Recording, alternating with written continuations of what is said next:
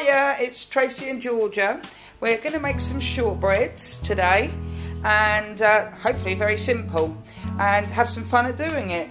Now firstly you just need to put your oven on at 190 degree gas mark 5 and the ingredients are 125 grams of butter, 180 grams of plain flour and 55 grams of caster sugar and a little bit extra to finish it all off.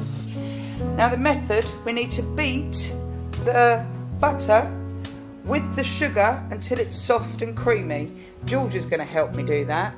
So butter and the sugar, Georgia, and good old-fashioned wooden spoon.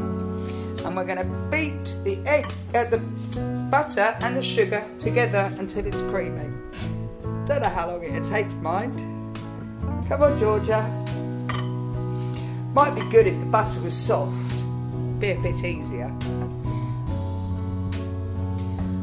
Wow, look, well done, Georgia. That's looking great. So as we said, you beat the butter together with the sugar until soft and creamy. Now we need to stir in the flour to get a smooth paste. Now I think that's going to be very hard, Georgia, but that flour has got to go into that butter and sugar and make a smooth paste. If you want to add some gradually, Georgia, it might make it a little bit easier for you. No, no, no, no, just put some of it in and beat that in first. And just take your time, otherwise I think you'll um, take quite a while to get it all blended in.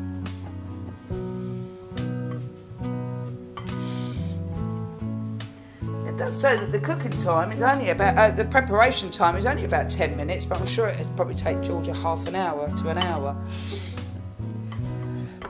But, oh well, I'm sure they taste lovely. Now with shortbread, you can actually add anything you like to it. You could, uh, once you've got to your paste, add some chocolate chips into it, or some raisins into it, or different products to to give you different flavours. Or you could even do half and half. So you could do half plain and then add some raisins in the other, or, or mixed fruits, or nuts, or whatever you wanted. Entirely up to you.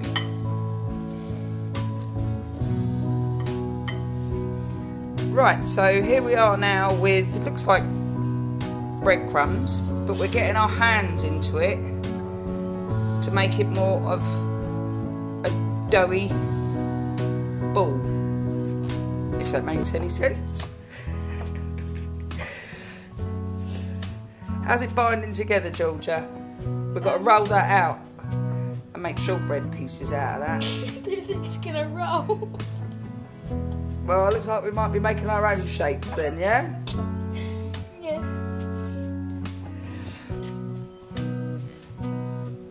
Now we're going to line a baking tray with some greaseproof paper so that we can get this shortbread out onto, into the oven.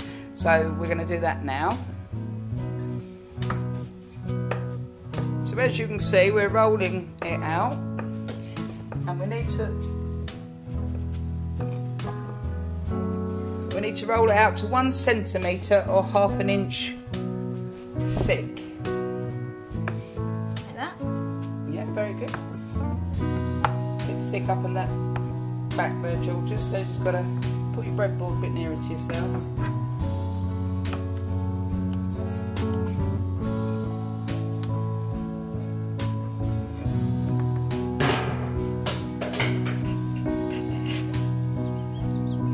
Tell we're not very good at all this video and.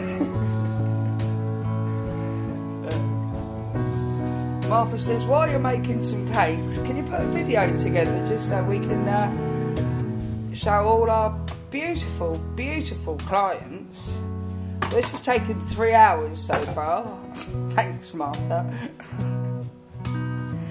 anyway, all rolled out, we're going to cut into some shapes now. Now that it's all rolled out, we've used a ramekin so we can have some nice big mm, round ones. What you need to do, Georgia, behind you there is a tray with some baking greaseproof paper on it. you can put them onto there because we do need to put them in the fridge to chill them down before we bake them in the oven.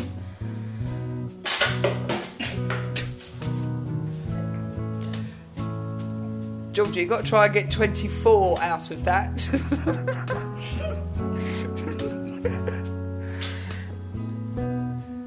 I think we've done very big ones.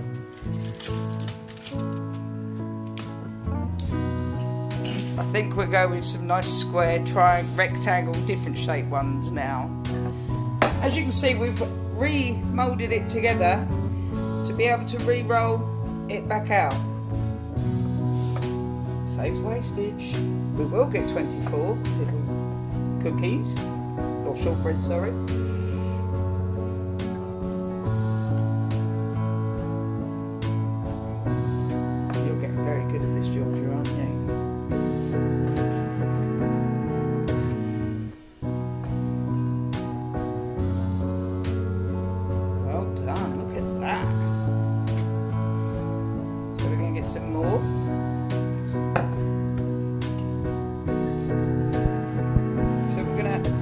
Different shape ones now.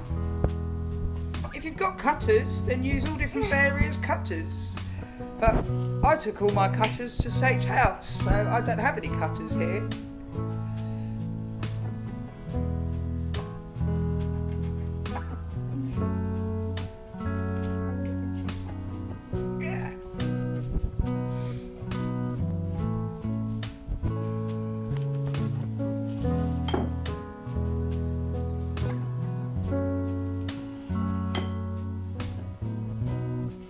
Done, and we'll put them on the baking tray as well. So once all these are cut, we're sprinkling a little bit of caster sugar over the top. And then we are going to put them in the fridge to chill for 20 minutes. And then bake, so we can have some shortbreads this afternoon. Brilliant, lovely Georgia, superb. We'll put them in the fridge now, love.